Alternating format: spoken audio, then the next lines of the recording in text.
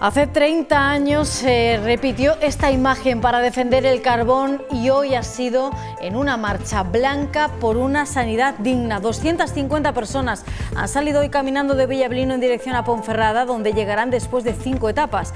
Reivindican más recursos, sobre todo más personal. Solo tienen seis médicos para 900 personas en la Ciana. Problemas compartidos también en toda el área de salud del Bierzo.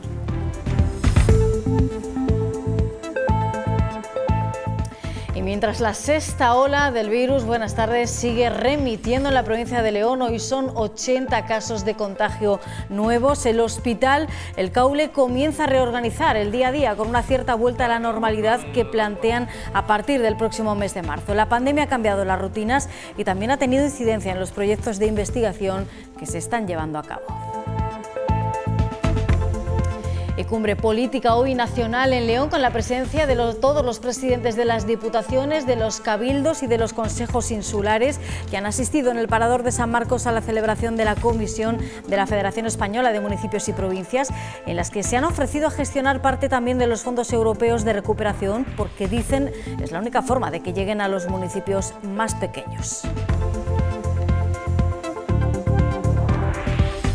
Y precisamente para acceder a ayudas como esa, la Cámara de Comercio de León acaba de crear dos herramientas de ayuda a las pymes, a los pequeños empresarios, Acelera Pyme y la Oficina de Subvenciones. Uno de los objetivos es también acabar con las carencias en la transformación digital que todavía existen en el tejido empresarial leonés.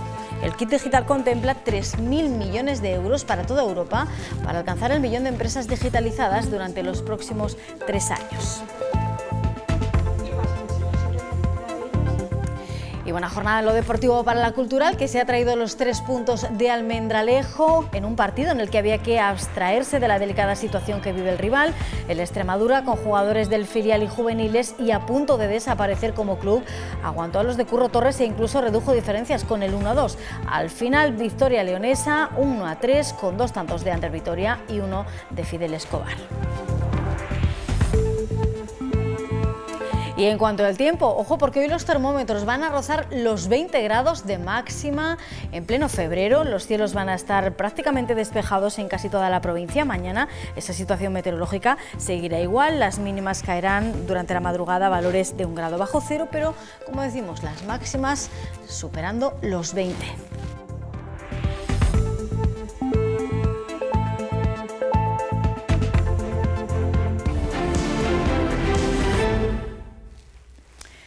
Es lunes, es 21 de febrero y venimos de un fin de semana donde se confirma que León camina hacia una normalización frente a la pandemia. La incidencia vuelve a ser la más baja de la comunidad, 731 casos después de haber registrado 358 positivos desde el viernes. 80 de ellos han sido en estas últimas 24 horas. La parte más negativa, los cinco fallecidos que se han registrado en estos tres días. Por otra parte, se han firmado 30 altas hospitalarias. Ah, pero no todo es tan positivo porque hoy ha comenzado la Marcha Blanca, un recorrido de 75 kilómetros entre Villablino y Ponferrada que 250 personas están realizando a pie en cinco etapas. Lo hacen para protestar por el estado de abandono de la sanidad pública en esa comarca. 30 años después de la legendaria Marcha Negra de la Ciana y el Bierzo salen otra vez a la calle. Book Design León te avanza la noticia del día.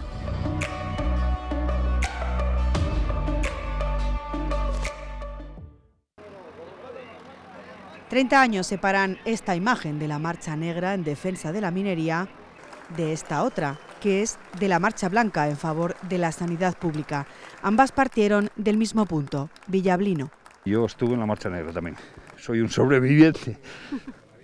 Así que bueno, pues otra vez vamos a intentar llegar a Palacios. Es la mitad que de aquella, porque aquella la primera etapa fue hasta Toreno, pero bueno, a ver si llegamos. Por desgracia tenemos que volver a, movilizarnos, que es una pena. Nos llevaron todo lo bueno y nos dejan sin nada. No sé cómo no les da vergüenza, pero bueno, es así. La Ciana siempre en lucha. Durante estos 14 kilómetros, los 250 participantes reivindican mejoras en la cobertura de su zona básica de salud. En la comarca hay apenas seis médicos para más de 9.000 personas y eso se nota en la atención diaria. Pero no tenemos médico en el consultorio desde hace casi un año. Así que en Palacios, yo soy de Palacios. Porque no nos atienden, entonces si tiene una urgencia tienes que tirar para abajo a Ponferrada, son 60 kilómetros y entonces tenemos todas las complicaciones. Estamos yéndonos a citas de previas de, 15 días o, por ejemplo, también a tener que atender a los vecinos de nuestro municipio por urgencias. Pero a esta protesta no solo se unen los participantes de la marcha, toda la comarca apoya las reivindicaciones. Carencias sanitarias, eh, mientras la sexta ola de coronavirus está en claro retroceso y la presión hospitalaria en descenso. La gerencia del Hospital de León ha comenzado ya a reorganizar el día a día del complejo asistencial con una cierta vuelta a la normalidad que plantean a partir del mes de marzo. La pandemia ha cambiado las rutinas y también ha tenido incidencia en aquellos proyectos de investigación que se están realizando.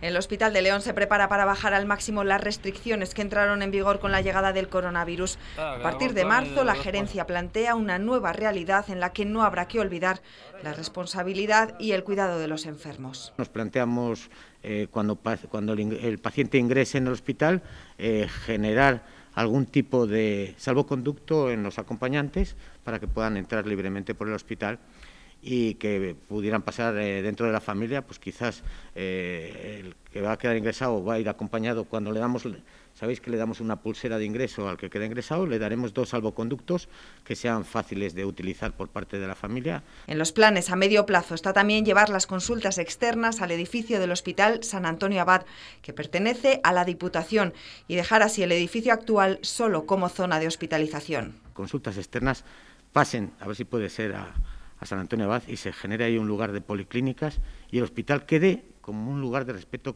Un hospital en el que se llevan a cabo también decenas de investigaciones, estudios y ensayos clínicos. El objetivo es que haya una unidad básica de investigación que centralice todos esos proyectos. Queremos poner al investigado en el centro, con todos los grupos y comités dedicados a la investigación. Comité ético de investigación con medicamentos, la comisión de investigación y el Comité de Docencia y Formación Continuada. Y fuera de aquí, lo que queremos es potenciar la colaboración con atención primaria y la Universidad de León. Ahora mismo el hospital tiene abiertos 75 ensayos clínicos.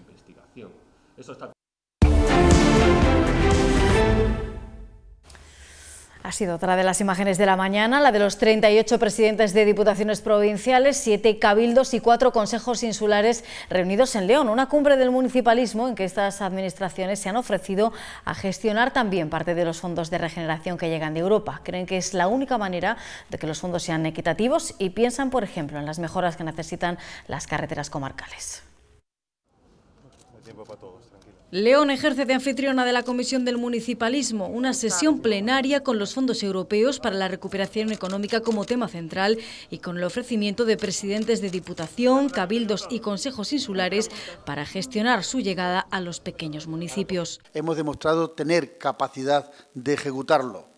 En marcos eh, comunitarios anteriores lo hemos hecho y estamos dispuestos y convencidos de que es la única manera de que estos recursos lleguen hasta el último rincón de España. El Parador de San Marcos alberga una cita donde estas administraciones defienden que son las grandes veladoras porque ese dinero llegue también al medio rural.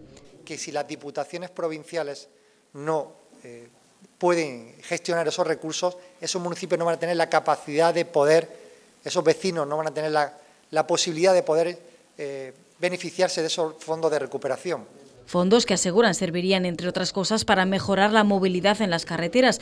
Las diputaciones gestionan juntas más carreteras que el propio Gobierno nacional. Que tienen un coste muy importante en su mantenimiento y en ponerlas en, las mejores condiciones para que todas las personas que vivan en los pueblos, independientemente del tamaño del pueblo, tengan las opciones de poder tener un servicio de transporte digno por carretera. Apuntan además desde la Federación Española de Municipios y Provincias que su papel como defensores del territorio está por encima de las siglas políticas. La llegada de ayudas no solamente de Europa, también de otras administraciones es una buena noticia para las empresas, por eso no se pueden permitir dejarlas escapar por no cumplir plazos o algún requisito. Para evitar estas situaciones, la Cámara de Comercio de León acaba de crear dos oficinas para la gestión de subvenciones y la transformación digital. Acelera PYME y la Oficina de Subvenciones van a ser una herramienta de asesoramiento y orientación para los empresarios y sobre todo para acabar con las carencias en la transformación digital que todavía existen. La Cámara tiene además la intención de poner en marcha jornadas de formación y talleres para para implementar las ayudas y dar el salto a la economía digital. El kit digital, que contempla 3.000 millones de euros para toda Europa, pretende alcanzar al millón de empresas digitalizadas durante los próximos tres años. Es decir, si tenéis previsto hacer cualquier aspectos claves de la oficina de la PYME va a ser eh, la información y todo lo, eh, el, el, asesoramiento, el acompañamiento en el tema del kit digital, facilitarles y ayudarles en la tramitación, que normalmente es el mayor obstáculo para que los empresarios y los autónomos eh, soliciten estas ayudas. Y este fin de semana la ministra de Industria estuvo en Valencia de Don Juan apoyando al sector agroganadero en la feria de febrero de la localidad collantina. Reyes Maroto, que se acercó también al polígono industrial en plena ampliación y al Museo de Indumentaria Tradicional Leonesa, dos espacios para los que el alcalde Juan Pablo Regadera aprovechó para pedir la implicación del Ministerio en la creación de una incubadora de empresas y centro coworking y también la rehabilitación de un palacete para trasladar el MITEL. Pero además la ministra, que defendió como prioridad el medio rural, aseguró que tanto su ministerio como otros del Gobierno trabajan trabajan en la búsqueda de soluciones a la subida de los carburantes, que aunque es ajena a la acción del Gobierno, pueden aliviar el impacto que está teniendo en el gasoil agrícola. El medio rural eh, está ya un poco cansado de que digamos y lo que quiere es que hagamos. Estamos trabajando desde eh, todos los ministerios implicados eh, para que efectivamente esos costes se puedan reconducir, desarrollando una agenda para minimizar estos impactos, especialmente reduciendo impuestos, que es donde es más fácil que llegue luego a los posibles beneficiarios. 30.000 personas pasaron por esa feria de febrero de Valencia de Don Juan que cerraba ayer domingo su edición número 101 con un balance positivo después de un año en blanco por la pandemia. Cuatro días como el mejor escaparate de maquinaria agrícola, semillas o riegos, pero también con muestras de tractores antiguos y otras actividades como el concurso de burro zamorano-leonés que han congregado a profesionales del sector y a todo tipo de público. Una vuelta a la normalidad de esta feria centenaria. Y queda muy poco ya para carnaval, el fin de semana que viene. Algunos lugares ya adelantarán sus desfiles, pero los hay aún más madrugadores. En Villaquilambre han celebrado ayer domingo su piñata, una actividad llamada Sardina y Confeti que congregó a numerosas familias con sus hijos. Lo hizo en la Casa de Cultura de Villaquilambre para la destrucción de una gran piñata realizada con materiales respetuosos con el medio ambiente y cargada de confeti y caramelos. La celebración que abre un amplísimo programa de carnaval en Villaquilambre y que supone la recuperación de esta tradición de la piñata se completó también con música y con el reparto de chocolate y orejas de carnaval.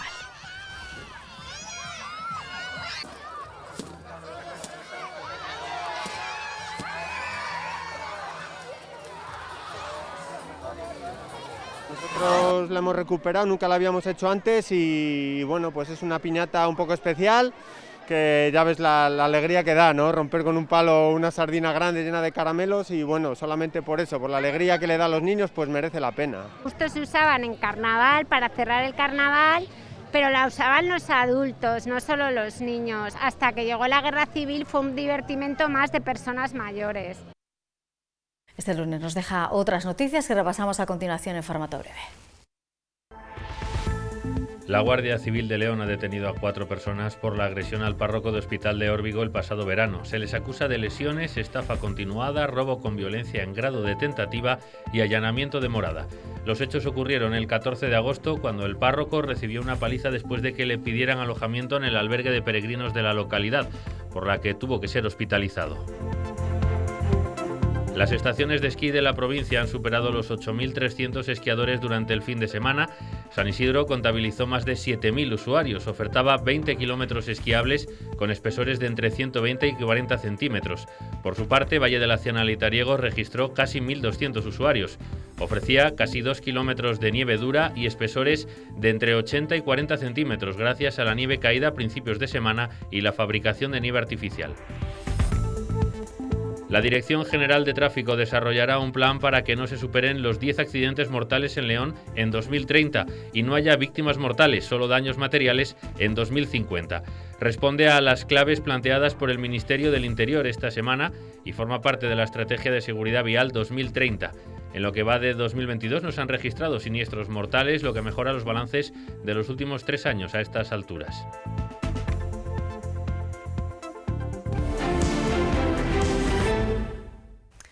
Conocemos ya la ubicación del radar móvil de la Policía Local de León para las próximas horas.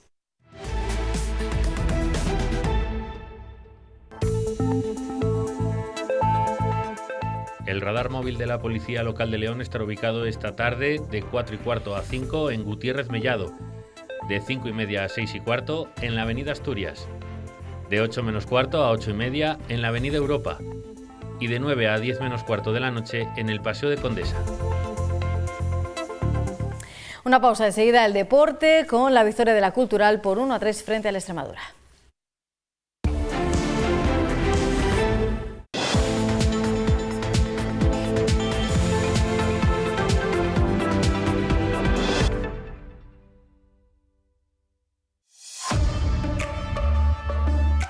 Bioleón te avanza los deportes. La Cultural salió airosa de un partido con trampa en Almendralejo. El cuadro de Curro Torres manejó la presión de estar obligado a ganar ante un equipo que vive sus últimas horas antes de la liquidación en el plazo que acaba este miércoles y con jugadores del filial y juveniles en su alineación. Ander Vitoria con dos goles y Fidel Escobar anotaron para los leoneses en Almendralejo. La Cultural hizo los deberes en Almendralejo ante una Extremadura que plantó cara como pudo con jugadores del filial y juveniles en el que puede ser su último partido. Este miércoles acaba el plazo dado por el administrador concursar para proceder a la liquidación del club azulgrana. Ander Vitoria se reencontró con el gol por partida doble. Fidel Escobar también anotó y volvió a demostrar el acierto de su fichaje en este mercado de invierno. Yo creo que, uno se contagia también un poco de, todo lo que puede rodear y, bueno, pero vuelvo a repetir, lo más importante que, que tenemos era que veníamos a por los tres puntos, hemos competido, los hemos ganado en el terreno de juego y nos vamos con, buenas sensaciones a, León. El cuadro del Francisco de la Era cortó diferencias con el 1-2, pero con el de tercer tanto el cuadro de Curro Torres cerró el encuentro para traerse los tres puntos a León antes de recibir el próximo sábado al colista Tudelano en el Reino.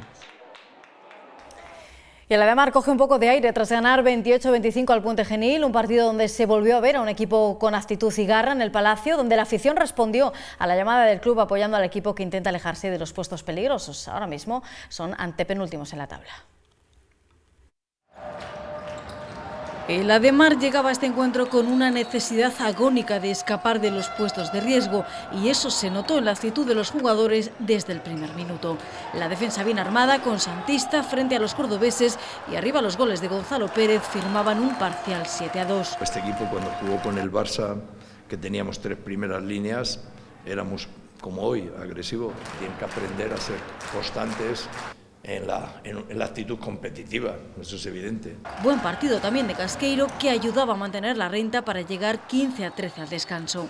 En la segunda mitad los leoneses seguían demostrando garra y Milan Bomastar era determinante bajo palos con sus paradas para conseguir una victoria 28-25 que hacía tres meses no se disfrutaba en liga.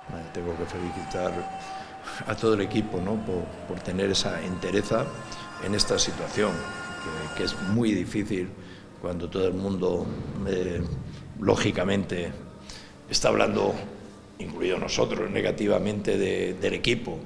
Una alegría para una afición que volvió a responder en los peores momentos del equipo. El pabellón de, la de eh, si algo, una constante tiene durante todo, toda la vida, toda la existencia del club, es una gran afición. Entonces, pues ojalá nosotros sigamos jugando así y la afición, pues esté como hoy. Dos puntos que se suman a la lucha por salir de abajo. La próxima visita al Logroño será una nueva prueba de fuego.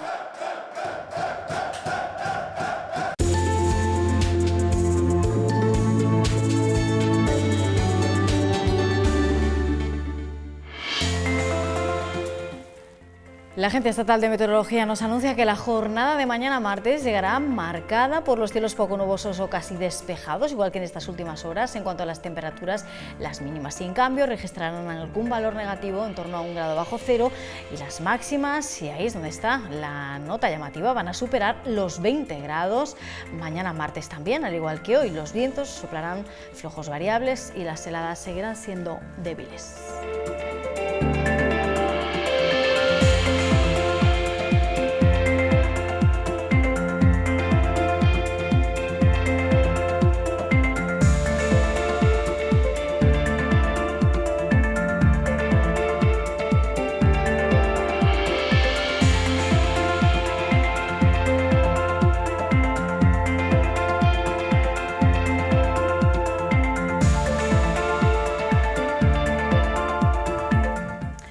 Y nos vamos a despedir hoy con el nuevo disco de Café Quijano, Manhattan. El grupo leonés ha presentado hoy el primer single, La Jamaicana, y lo han hecho donde todo empezó, en La Lola. De hecho, este disco que consideran, dicen, el mejor de su carrera, es la segunda parte de La Taberna del Buda. Estará disponible en plataformas digitales a partir del viernes y aunque no está confirmado, esperan actuar en las fiestas de León Capital en el mes de junio. Con el videoclip de La Jamaicana nos despedimos. Continúa toda la información en Castilla y León Televisión. Que pasen feliz tarde. Hasta mañana.